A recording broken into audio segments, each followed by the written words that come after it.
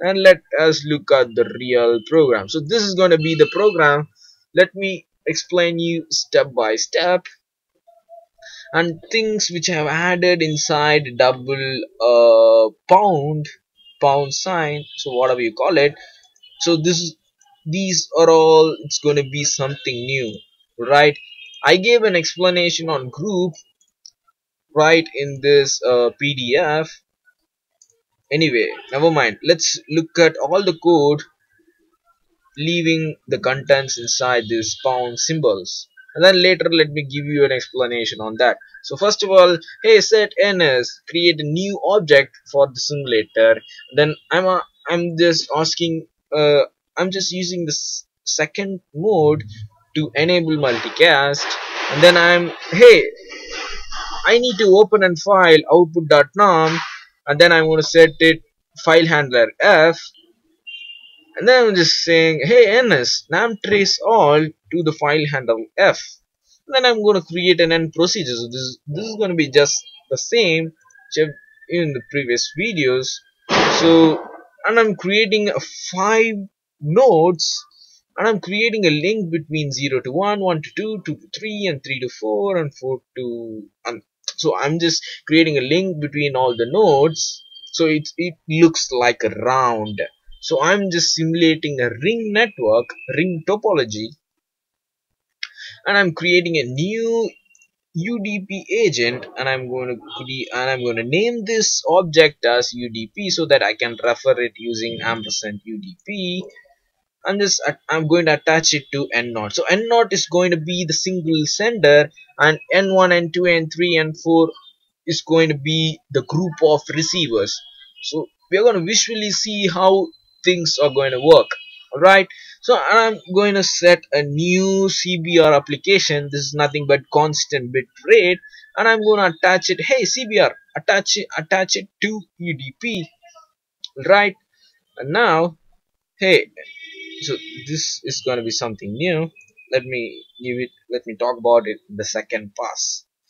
So hey ns at 0.4 start the cbr so this this line is quite similar to us. And then hey ns at 3 uh, call the end end program. That is the end procedure. Hey ns run. Finally we are just asking network simulator to show us our simulation so let me go again and talk about the statements inside the pound symbols. So now we are just as I told you we need a multicast address. So we are just enabling the multicast. And I'm just going to use multicast then here I'm just creating a multicast address. Set group. Group is going to be the address object. So I want to create an address saying node allocate address. So you just need to type the same thing since it's a case sensitive one. And now I'm just gonna say hey UDP since I'm going to send the message to a group of senders I need to say hey UDP I'm calling the UDP object and I'm referring the UDP object which I've created right in this sentence hey saying hey UDP set your argument destination address to the group address so that we're not just picking up a single receiver here we're just directing it to a group of receivers. So this group address is going to have a group of all the nodes which is connected. Alright. So I'm set I'm going to set the destination port to 0.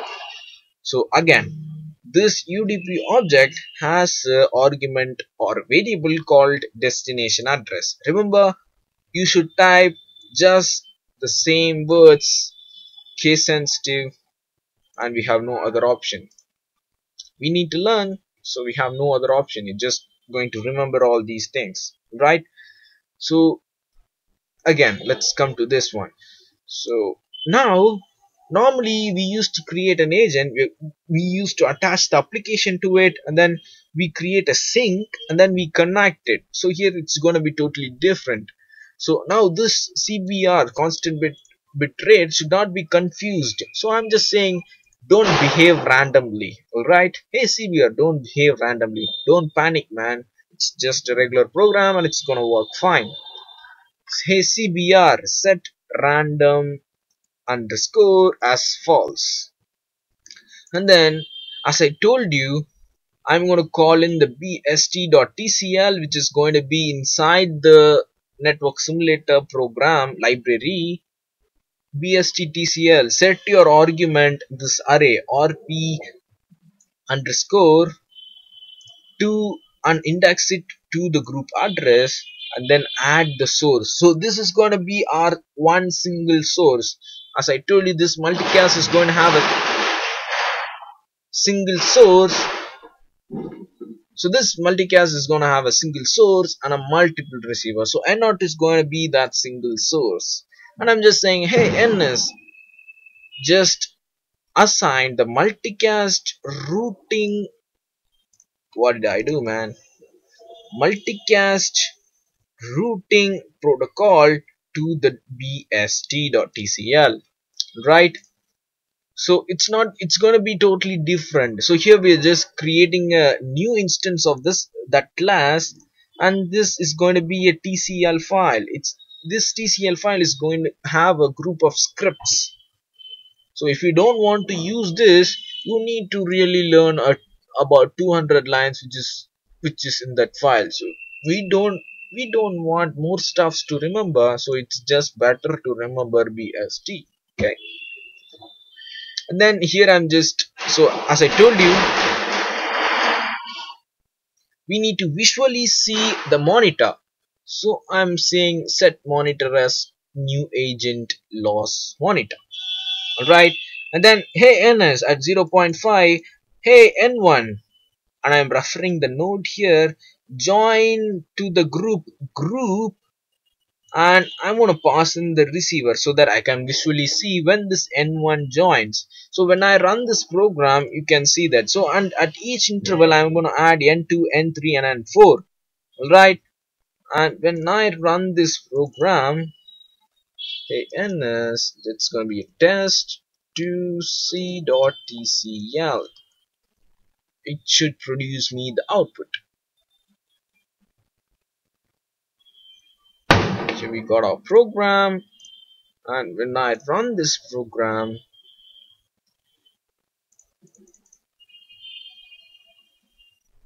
where are my packets man. So it's gonna be so one request for a connection and the node 0 which is going to be the single sender sends the message sends its message to 1 so it's going to be an UDP connection. It's not going to worry about whether the node 1 received all the packets or not so here 2 joins the group then it sends the message to 0 through 1 and then it's receiving all the data packets so that's going to be a one single sender and a multiple receiver.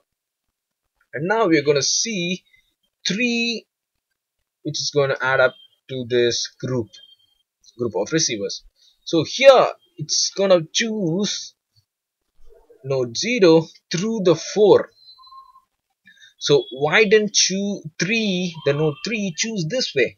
So here it's having two nodes so it's gonna be it's it, ha it has to travel long distance to go to node 0 so it just chose 4 hey 4 just help me out passing this 0 message so that it's an it's it, the node 3 sent the message to node 4 then the node 4 forwarded the message to node 0 and what happened is it the node 0 which is going to be our single source sent all the message to node 4 and then this node 4 which act which which is just going to redirect all the messages to node 3 right so when I just run this program now you're going to add this node 4 so even this node 4 is going to act as a receiver. So it sends a message and node now node 0 sends packet to even node 4 so since this connection is 1 Mbps and all other connections are going to be a bit slow it's gonna have a packet loss alright? So this is about this is all about multicast and have a great time with TCL so it's a good program to learn network simulation. So do not miss the next video. The next video I'll be telling you about the important things where to go for when you get a program. I'll be introducing you to a tool which generates TCL programs. Thank you